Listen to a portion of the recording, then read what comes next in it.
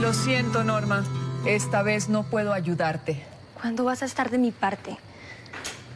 Siempre defiendes a Fernando. A mí ni me escuchas. Trato de ser imparcial. Pues resulta muy difícil soportar los celos de Fernando. Al menos recomiéndale que se comporte racionalmente conmigo. ¿Le puedo decir algo cuando tú ni siquiera cumples con tus obligaciones de esposa? Está bien. Olvídalo. No, no le digas nada. A ti no tengo por qué meterte en mis asuntos personales, pero al menos recomiéndale que no gaste el dinero a manos llenas, mamá. Yo no puedo limitarlo. Si lo hago, es capaz de dejarnos y nos quedamos sin respaldo. Fernando es el único hombre de esta casa.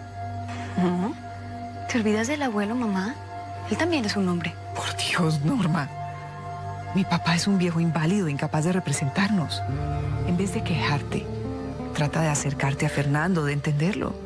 La solución está en tus manos.